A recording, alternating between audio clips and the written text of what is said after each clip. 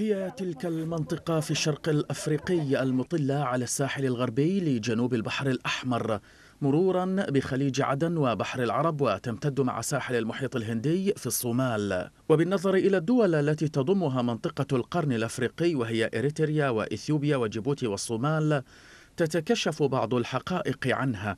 فالموقع الاستراتيجي أكسب تلك المنطقة أهمية اقتصادية وسياسية كبيرة على الرغم من مرور كل دولها بصراعات سياسية وعسكرية دموية وأزمات اقتصادية وإنسانية طاحنة إذ يرتبط القرن الأفريقي في أذهان الكثيرين بالمجاعات والحروب الأهلية لا سيما خلال العقود الثلاثة الأخيرة.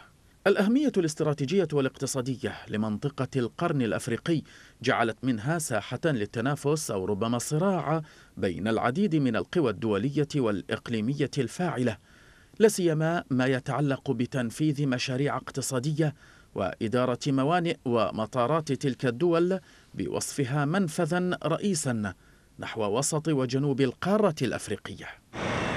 تتسابق في ذلك قوى دولية مثل الصين والولايات المتحدة وفرنسا وإسبانيا وغيرها. كما تتسابق قوى إقليمية كذلك مثل السعودية والإمارات وتركيا. غير أن اللافت في الأمر أنه على الرغم من هذا السباق نحو الاستثمار في منطقة القرن الأفريقي فإن الغالبية العظمى من شعوب المنطقة لا تزال ترزح تحت خط الفقر ولا تزال دولها غارقة في هوة عميقة من الصراعات والأزمات.